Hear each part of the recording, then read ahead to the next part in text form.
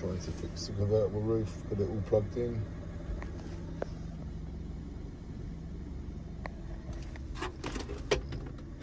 Trying to fix a convertible roof on a BMW 3 Series. How do you do it?